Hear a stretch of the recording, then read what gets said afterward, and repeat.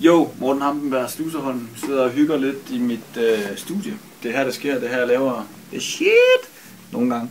Øh, jeg har lavet et, øh, et remix af Svendstrup Vellenbos øh, Dybt Vand. Der er en del af dem. Der er nogle rigtig fede nogen, men øh, jeg tror faktisk, mit er det sidste i rækken. Det er egentlig bare for at give jer et øh, lille preview. Jeg tror, den kommer ud lige nu, lige om lidt, om et par dage eller sådan noget. Så øh, tag lige og kig den her.